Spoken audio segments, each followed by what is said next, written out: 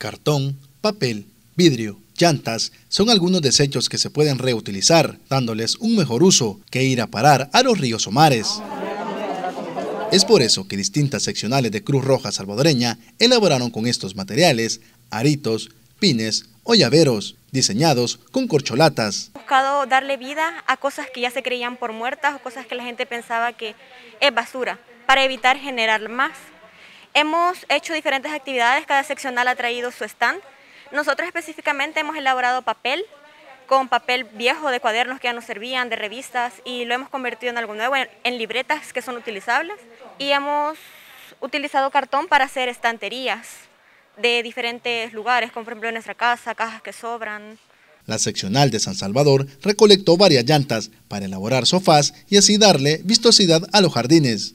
De que en lugar de botar las llantas de cuando hagan cambio de, ellas en sus vehículos, pueden reciclarlas, pueden hacer cositas bien bonitas con ellas. Por ejemplo, aquí nosotros hemos hecho unos sillones de llantas, también se pueden hacer columpios, se pueden hacer macetas para las plantitas en nuestros hogares y también se pueden hacer hasta pozos.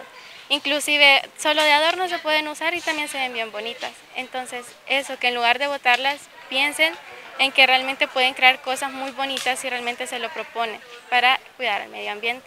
También se pueden crear diferentes manualidades e inculcar desde el hogar la importancia de reciclar. Es que salvamos al medio ambiente, es muy importante porque se hacen también diversas eh, manualidades que uno puede utilizar, ya sea para decoración de la casa o para que los niños puedan este, tener como la mente desde pequeños a que ellos vayan reciclando los materiales. Como institución, también invitan a la población a hacer conciencia para tratar los residuos como corresponden y proteger el medio ambiente. La cantidad de basura que nosotros generamos día con día en nuestros hogares es inmensa y esto va causando diferentes daños al medio ambiente, ¿verdad?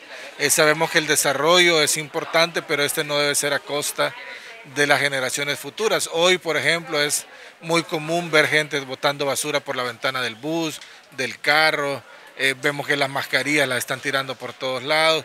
17 de mayo se celebra el Día Mundial de Reciclaje, establecido desde el 2005 por la Organización de las Naciones Unidas para la Educación, la Ciencia y la Tecnología con el fin de promover una mayor responsabilidad a la población sobre el cuidado al medio ambiente.